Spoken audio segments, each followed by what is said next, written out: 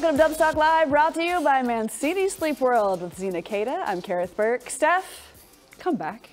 Happy birthday tomorrow. you know, but uh, come back as, as long as you're as long as you're healthy. We know the Warriors are going to try to figure out if he's uh, healthy. He's going to join the team in Los Angeles ahead of the Lakers game on Saturday. Steph will practice with the team on Friday.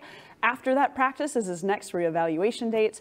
I would say the chances are, I would say it's trending upwards that Steph would play in that Lakers game. We know, of course, no Steph Curry tonight. And then Draymond Green tried to give it a go, warmed up, did not play. He was out right before the game with low back soreness. So when you add it up, no Steph, no Draymond.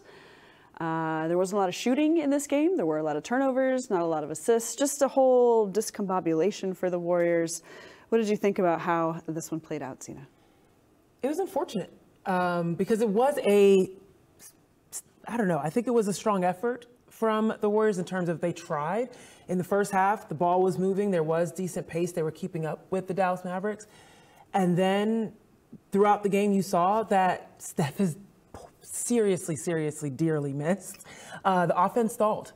The interior defense was non existent. And there you go, Steph and Dre gone. Um, and then the stars that were supposed to step up in the absence of a Stephen Curry did not. Eight of 25 tonight, and they were quiet for the most part. Of course, Andrew Wiggins did end up with 17, but that was six of six from free throw line that helped him, right? Overall, it was it was unfortunate because it was a strong effort, but not enough. Yeah, I'm looking at this points in the paint. The Mavericks had 20 more than the Warriors. Out of 44 made field goals, only six for the Mavs were three point shots. So inside, inside, inside. Mm. No answer there. And then you can see where the Warriors have trouble in the margins, especially when they're playing shorthanded. We do want to be fair. Um, but when the Mavericks launched that 16 to 4 fourth quarter run. It's like, okay, that's that's it. The Warriors like kept in contact for most of the game, but that's when the game started to get out of control, and there were Warriors mistakes peppered in there. There were 10 consecutive missed shots, three turnovers, one technical for Chris Paul. He made sure the referee got the technical as hilarious. well. Yeah, yeah. Um, we should talk about JK's night in this one because he did have the aggression early. He was attacking early. What did you think about JK? You know, when there was a lack of shooting from maybe Klay and Wiggins and CP3, actually those guys combined three of 15 from the field in the first half. JK was the offense tonight. Mm-hmm. How did he do? Amazingly. He did not back down from the load that was put on his shoulder entering this game. He has become that guy. And you want that for your team because now it's an anomaly for him to do poorly. It's more of an anomaly for him to score under 10 points or under 40% from the field than it is for him to have a night like this. It's funny, I got a text from someone that doesn't cover the men's game but is in the world of sports and covering the sports, and they said, Holy moly, what's gotten into Kuminga today? Mm-hmm. And I was like, this is actually pretty typical Kuminga. If he's not scoring like this, is when you're like, what's going on with Kuminga? So it's what you want to see out of a young rookie, not rookie, but three-year vet, um, still younger player on the team to have that confidence coming to the game. I was very, very impressed with how diligent he was about attacking the basket. Yeah, he's 21 years old. He is younger than some yeah. of the rookies. Uh, he is our BMW Ultimate Performer, arrived at 27 points. I also noticed he had his three-point shot going. He attempted some threes in this one, two for two, got it done on the free throw line as well, nine of 10. But this is what happens when you attack, and this is Jonathan Kuminga making himself a name on opponents' uh, uh um, scoring charts. That's not what I'm looking for. Pre-game uh, scouts. Thank you. Yeah. Thank you. looking for it. But he helped the team. Somebody had to take the load, exactly as you mentioned, when the other guys weren't scoring. Kuminga, Kuminga, Kuminga, looking again like he can be an unstoppable force. And when you think about this game and you look at that play right now, this is what was the struggle for the Warriors attacking the basket. You mentioned the stat earlier. They outscored the Warriors in the uh, in the paint by 20. And every single time they got in there, it was like Daniel Gafford was handing out tickets to his block party. 13 blocks overall for the Mavericks on the Warriors. And Jonathan Kuminga wasn't fazed by that. He still found his way into the paint, whether he was slashing off ball, whether he had the ball and was attacking himself. You saw him be incredibly aggressive to the basket, which is what you need, especially in a game where everyone else is a little, a little hesitant and is trying to get away from contact in the paint. He was going towards it. And so that's really what you love to see because even if you're not having your shots fall, what happens? Nine of 10 from the free throw line. And we've talked about this before on this show. One of the greatest things about Jonathan Kuminga and one of the greatest things you can have in a scorer on your team is someone that can attack hard and then finish the free throws. There you go. That's huge. Mm-hmm. 13 blocks for the Mavericks. Man, uh, there was a moment when Draymond Green was visible in this game. Take a look at him coaching up Jonathan Kuminga. He says Draymond making an impact from the bench. Yes, what a shame that Draymond was out of this game with a lower back injury. Something to follow. This was not the first time he's been on the injury report with that uh, with that back. He was he appeared on the injury report for the last game. He was probable and he played, of course, but something to monitor going forward. It kind of forces the Warriors again with these injuries to play with a new starting lineup. Their 22nd different starting lineup of the season. It is hard to find a rhythm when you're in that uh, in that kind of way. Right. Somebody in the starting lineup, Trayce Jackson Davis. This is interesting. If you're going to play without Draymond at center, okay, why not try somebody who looks more like a true center? there you go. This is a nice opportunity for the rookie. The rookie had an opportunity tonight to play against other active centers. And this was great because he got to see two different types. In Lively, another athletic center very similar to him. And then in Daniel Gafford, a very blocky, solid type of center that you're also going to see within the Western Conference. And as they try and make it to the playoffs, hope on the other side of the country too. So for Trayce Jackson Davis, this was a true test of how can I get up and down the floor in a quick paced game with a center who's just like me, mm-hmm. who likes to jump up above the rim, who likes to rim run, who likes to who plays well in the pick and roll, and he really got a good test out of particularly Dereck Lively the second. What I also loved about this game was that you uh, Trayce Jackson Davis had an opportunity to practice his pick and roll defense because man, it was on the scouting report. It was clear that they kept saying make it so that Luka, whoever is guarding Luka, has to go off of uh, a screen for whoever is um, Trayce Jackson Davis is guarding.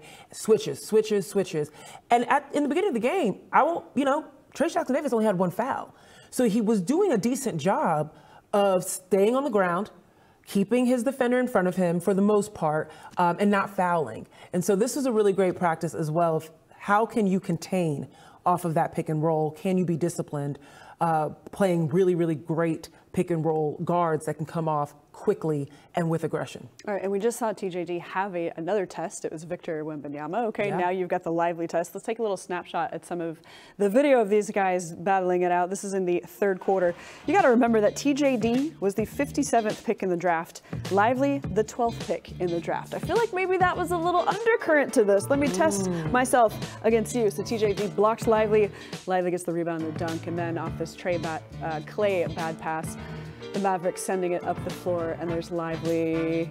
There you go, inside, beating him. So I, I just I thought that that was like a, a, young guy test. That was sort of interesting. Maybe TJD trying to size him up a little bit. Um, also interesting and totally random that Lively the second. Where's number two? Okay, that's there you go. That's, that's, that's a way that's to remember. there true. you go. Um, what did you think about TJD? I think he had 10 and 9 tonight. The impact of his rebounds uh, as well. Well, break that, that rebound nine down. Mm-hmm. Six offensive rebounds. There you go. That's huge when you think about what the Warriors want to do from a rebounding perspective. Number two in the league. Obviously, that's what they want to do. They want to attack the glass. They want to be able to provide opportunities for their team. But being able to get the offensive rebounds, resetting things, especially with how stagnant the offense was. The Warriors need as many chances as they can get at the basket. And so him being able to get those offensive rebounds, being, uh, you know, just tactile around the basket and also getting up. There was some that he finished right up at the, at the rim and, and you know, tipped in. And it was like, okay, TJD, like that's what Gafford does really well. And so I think that his rebounding was probably the most critical thing that he did tonight for the Warriors, especially considering um, how difficult it was to get around those bigs. All right. And TJD was at the podium. Let's take a listen. Nah, he played a great game. He's just got to stay aggressive. When he's aggressive, sky's the limit. Same question I have for JK, just their, you know, their length uh, around the rim, just in what ways did, did you feel that and how much of a challenge is that to navigate? Yeah, um, it's hard, especially when Draymond's out. Um, they got two really good um, defenders in Gafford and Lively, and they're rotating.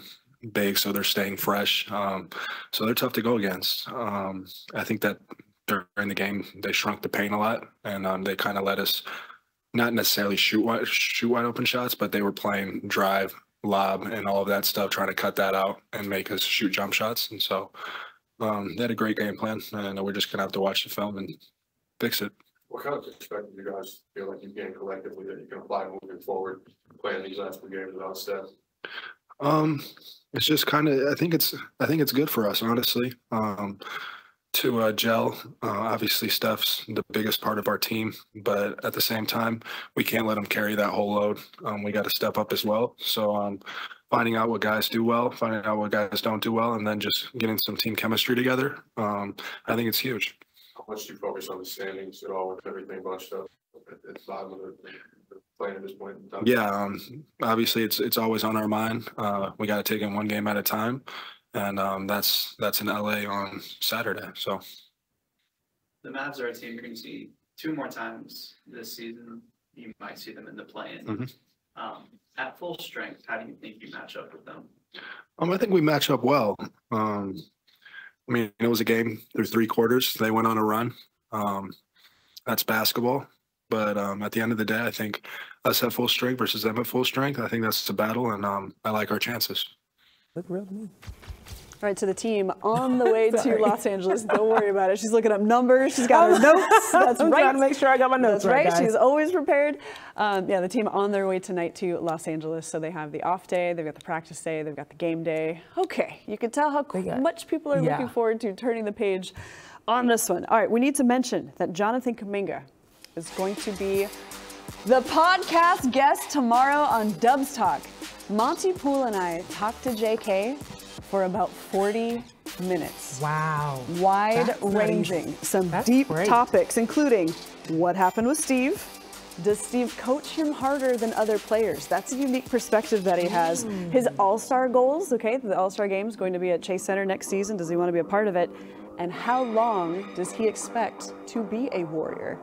We went there in a lot of places. Please listen to this interview. He was phenomenal, very thoughtful. All right, when we come back, Klay Thompson? BP? Who would you put in the starting lineup against the Lakers? Oh, we're going to discuss when we come back on Dubs Talk Live, brought to you by Mancini Sleep World. Dubs Talk Live is presented by Mancini Sleep World. Visit us during our spring clearance sale. Save big on premium mattresses, plus free delivery. Hurry in now or visit us online at sleepworld.com.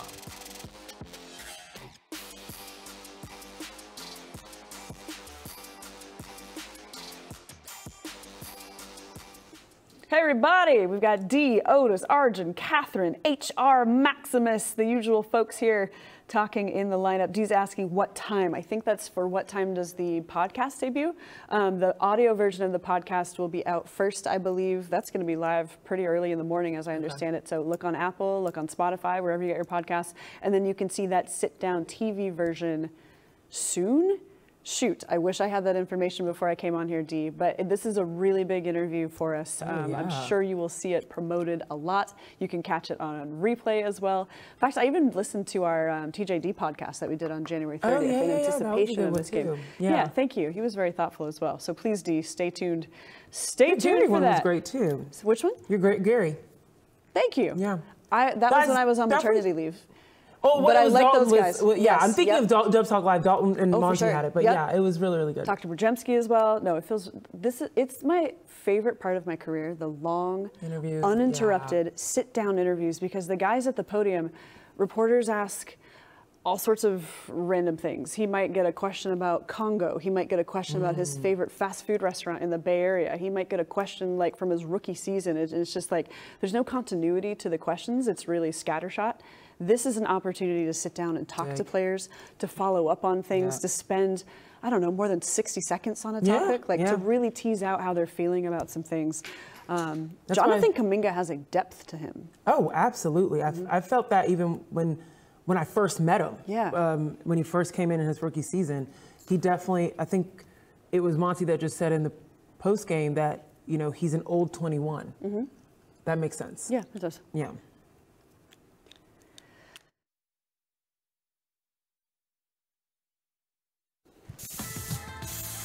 Welcome back to Dubs Talk Live, brought to you by Mancini Sleep World. Monday is a very special day for NBC Sports Bay Area and the Warriors. Look at all of us. Uh, it's a women's empowerment broadcast all night long. New A's play-by-play announcer Jenny Cavnar, amazing. Can't wait to meet her. And China Robinson, also phenomenal. We'll call the Warriors and Knicks games. Then we got the pregame show, the postgame show with Laura Britt, Zena, myself, and a special guest panelist former Stanford great Jayne Appel Marinelli. We're also going to have interviews with Tara VanDerveer and Chelsea Gray as well. So please don't miss it. Coverage begins Monday at 6 p.m. for our Women's Empowerment broadcast. I feel good about this. How are you feeling about that? I feel so good about this. I get chills every time I see my face with Jayne Appel's Okay. because when I was in high school um, and I was learning how to play basketball and I was learning how to be a center, a post player, uh, Jayne Appel was who I was looking at across the country at Stanford. Her over the her over the head passes, cross court passes, breaking presses were like my thing. She was so strong and so accurate with them, and uh, I just love watching her and Candice Wiggins all day. So it's crazy that I will be analyzing a game with her. Um, I told our producers I'm not going to fangirl. I don't fangirl Why? about anything. Why? I don't fangirl about like the NBA players, but the W players, You should tell her. Should you tell her that? Like, I watched you. I think she would Oh, be so flattered. I'm absolutely going to tell her. Yes. That I'm obsessed with her. No. Yes.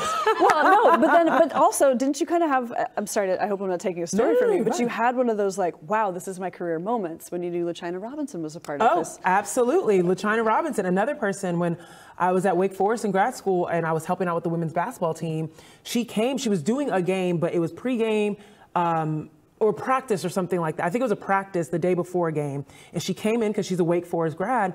And she was talking to all of us. And I just kind of stood in the back and I was just like, hi.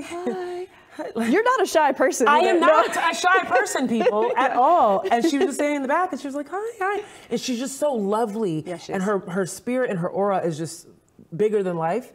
Every single person that I know in the industry that has met her, worked with her, etc., they always say she's my first call. Mm-hmm. If I'm going through something, if I don't know what to do with something, she's my first call. Um, and I get to work with her too. Yeah, yeah, like yeah, this, is insane. It's insane. Yeah, she has the Rising Stars group as That's well to help black women, underrepresented women in this field try to get their footing in the field. She is truly wonderful. And just talking to you about this now, like a women's empowerment game, it does mean something. It does. Um, whether it's for the viewers, for boys and girls watching, whether it's for us as well to appreciate each other. So that's going to be Monday at six o'clock. Please do turn do tune in for that game. And I'm excited. You'll be analyzing. Thank you. KB showing Yeah. off her basketball skills. I mean, she, you do anyways, yeah, I know. but Thank you. It'll be cool to see you. Thank you. Yeah, it'll be fun to be in a different chair. Yeah. Okay, back to this game.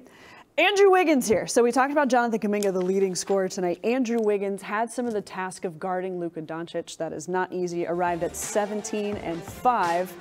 We need to see aggressive Wiggins. He's going to be so important for the next 17 games.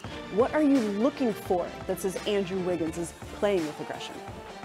I want to see him feel more comfortable on the floor. I feel like Andrew Wiggins has had a lot of hesitation type of moves where he's attacking and he's and he's deferring to others, trying to find other uh, people on the floor.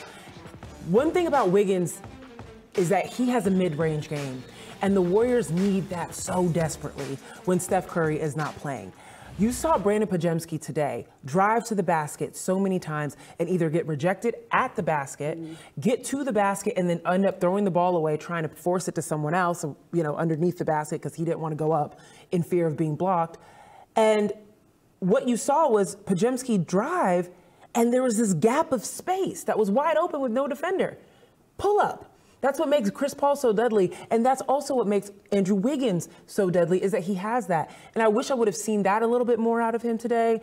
Um, I wish I would have seen his drives result in more of his own buckets as opposed to him trying to, you know, try and facilitate something else. I want to see a little bit more of Jonathan Kuminga in him, okay. right? And we saw that I think, particularly in that February stretch, right before he had to take his leave. So he's ramping up again. Luckily, I think that he's ramping up a lot faster than we've seen him in the past. But ultimately, Wiggins has to get to a point where he remembers he's him. He's one of the most athletic wings still to this day in this game, and he's capable of getting to his spot when he wants to. And that's what I want to see more out of him. Maybe he needs one of those Draymond pep talks. You are unstoppable. Maybe. Okay? Yeah. You are number one. You were the number one pick. We know you have this in you. All right, when the Warriors look ahead to the Lakers, let's assume for this conversation that Steph is indeed coming back. So that means GP2, GP3 rather, CP3 rather, will be coming out of the starting lineup. And it kind of makes me wonder okay, what are the Warriors going to do with their starting lineup? Are they going back to the old one where Pods is starting and then you have CP3 and Klay coming off the bench? Or curveball, does Klay Thompson stay in that starting lineup? And I wonder, I'm going to do a lot of talking here. Klay loves the Lakers. Okay. does. His dad will be calling the game in the radio booth. He's going to have family at that game. Kobe was his favorite player. Loves to play down in LA. And I think he kind of remembers what happened last season in the postseason. He wasn't great uh, in that Lakers series. You know, Klay really carries things, likes to have moments of redemption. Would you let Klay stay in the starting lineup, go back to the starting lineup rather, next to his splash brother when the Warriors have been missing space? Okay?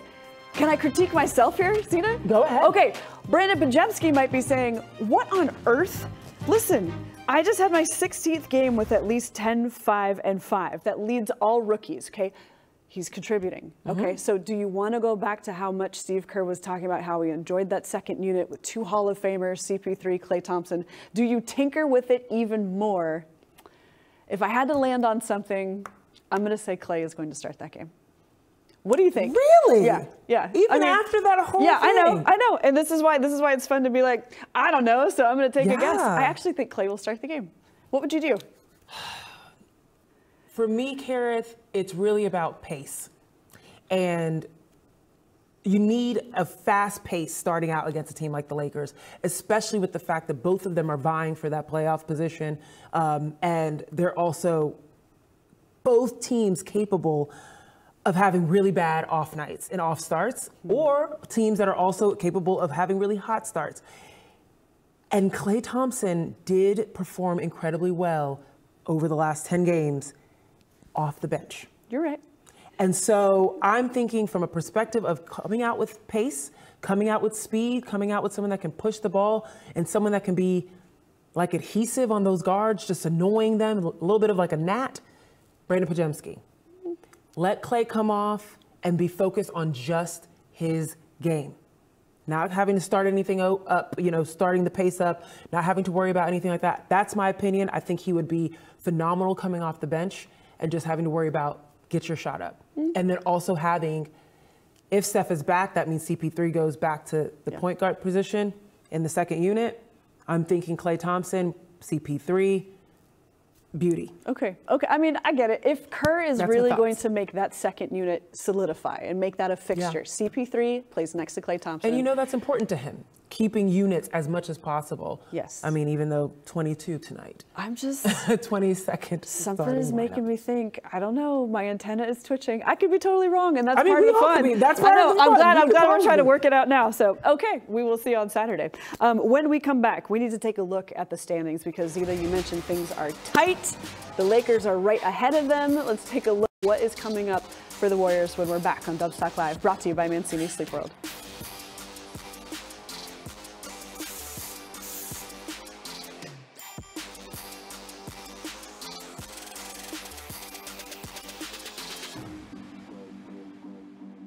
Catherine says, I cannot wait for WNBA at Chase. You are exactly right, Yes. Kat. Ooh, ooh, Guys, I had a, a hair in my eye that was like literally digging into Oh. I couldn't see it, and you didn't even blink. You were I like, was like, "Oh." no, you got it. You're good. I'm gonna. Um, All says, wonder when they're going to announce the WNBA team's name. I'm I'm so looking forward to that, and, and I don't know the answer to that. Um, I don't know either. Vitzi says Wiggins looking great tonight in the second half, attacking the basket, easy layups. There you go. Easy layups. That's what you want. Well, you've got 13 blocks from the Mavericks. Did anything come easy tonight? My goodness. My goodness. Uh, Anda says, I 100% agree with Zena. I think the Lakers struggle with pace and up-tempo games. Kings are working the Lakers tonight. Okay, there you go. If you can And get a see, fast start. thing about like Wiggins, like easy layups in the second half. Mm-hmm. Only three of them. He had five at the half. Okay. You know what I mean? And so it's like that's not. Yeah. He's got to come Oh. out with more confidence. Here's a factor. If BP wants to be like a mini Draymond, a young Draymond, and Draymond's not playing in that Lakers game, I mean, he can't do what, what Draymond does on defense, obviously, but if he wants to be like, I don't know, a low turnover, high assist, like intense guy on defense, then BP starts. I don't know. I mean, the thing like about one thing um, that's important for BP as well that I didn't mention, not only from a pace perspective, he's a rebounding guard. Excuse me? He's a rebounding guard. Yes, yes, yes, yes, yes. And that's huge, especially against the Lakers that have height on the outside and inside. Um, you want someone that aggressively goes after the basket. And Klay, don't get me wrong, Klay Thompson also gets some, but Where are we going, Flo? Okay. Okay. Quick block. Okay.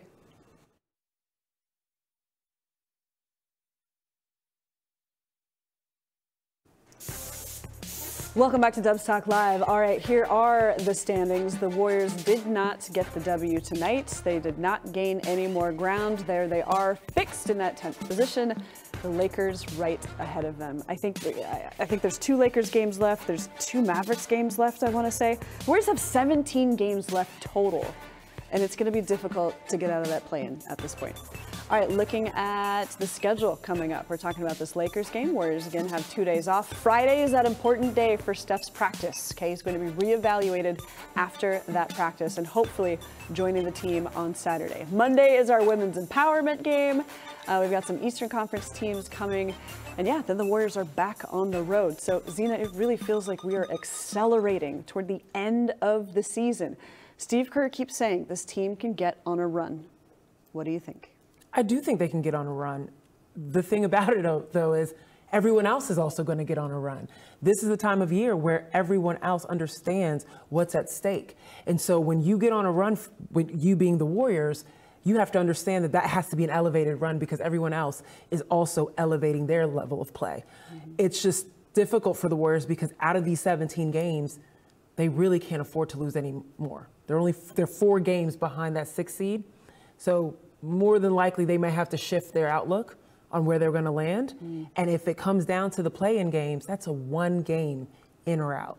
That's March Madness, baby. Yeah. So that's that's the level of pressure. So if you want to elevate your game to get yourself out of that situation, it's got to be another level. Yeah, the Warriors experienced the play-in before. They lost to the Lakers, they lost to the Grizzlies, and suddenly season was over. They know what that feels like. That was in 2021. The Warriors want to avoid that, but it's getting more difficult to get out of the box, the way that Mully puts it. 17 games left. I feel like they have to win at least 12 of those to get to the high 40s. Could be tough. All right, Dubs Talk Live brought to you by Mancini Sleep World continues on YouTube.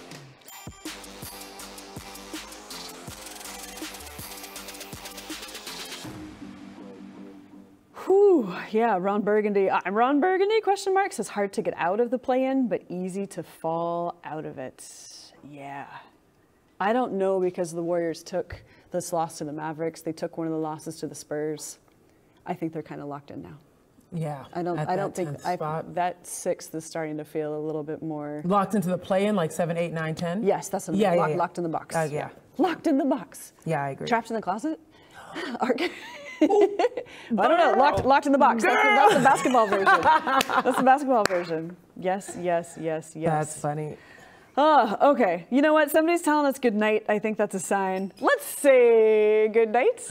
Um, I'm not working that Lakers game, but, but are you here? I am here, y'all. Okay. So tune in. Zena will be running the show. All right, and I will see you Monday. We will see you Monday for a really special occasion. And please tune in and listen to that Jonathan Kuminga podcast coming out tomorrow. It's it's good stuff. I'm excited. All right, thank you. Good night. Night, guys.